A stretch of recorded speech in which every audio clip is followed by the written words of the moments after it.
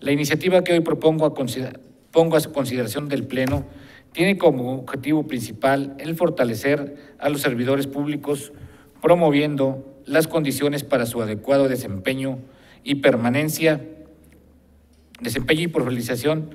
Es por ello que se centra en la visión incentivando su permanencia al interior del Congreso de quienes hayan demostrado habilidad, capacidad y probidad para desempeñar una actividad.